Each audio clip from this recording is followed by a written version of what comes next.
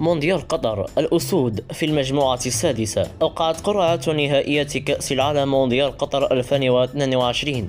المنتخب الوطني المغربي في المجموعة السادسة تعرف المنتخب الوطني للمغربي لكرة القدم الجمعة فتح أبريل 2022 على منافسه في نهائية كأس العالم مونديال قطر 2022 المرتقب في الفترة الممتدة ما بين 21 نوفمبر و 18 دجنبر 2022 أوقعت القرعة على المنتخب الوطني المغربي في المجموعة السادسة في مواجهة منتخبات بلجيكا وكرواتيا